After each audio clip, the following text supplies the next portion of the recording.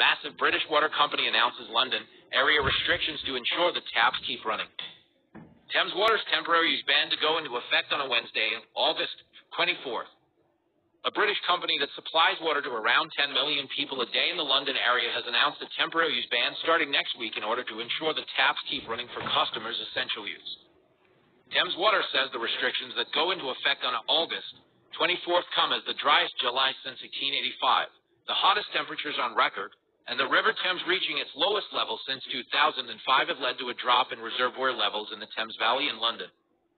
Domestic customers should not use hoses for cleaning cars, watering gardens or allotments, filling paddling pools and swimming pools, and cleaning windows, the utility said in a statement. Thames Water's robust drought plan is designed to mitigate the risk of further impact to water resources and ensure the taps keep running for customers' essential use, it added, noting that it is also working on fixing more than 1,100 leaks on its 20,000 mile network every week.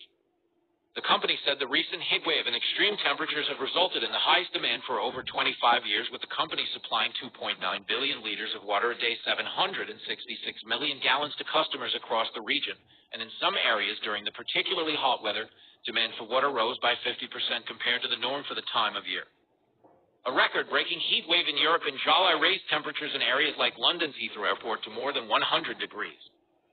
Implementing a temporary use ban for our customers has been a very difficult decision to make and one which we have not taken lightly, Sarah Bentley, Thames Water CEO, said in a statement.